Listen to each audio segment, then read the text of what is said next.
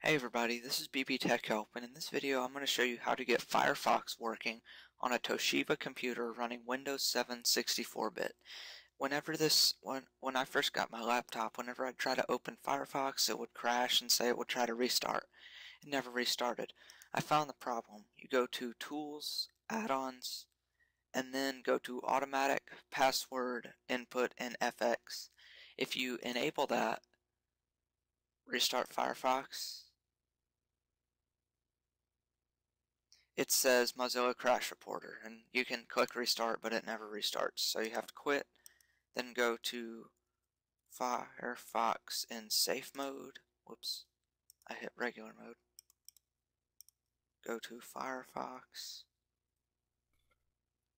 and then continue in safe mode, disable all add-ons. Then you go back to add-ons, extensions, and then you disable this automatic password input in Firefox. This might be for more than Toshiba laptops, but I encountered this problem. So now I can enable all of my other add-ins and then restart Firefox and it'll work perfectly. Just a quick video. I'm not sure how many views it'll get, but I thought I could maybe help some people. So, hope this helps. Bye.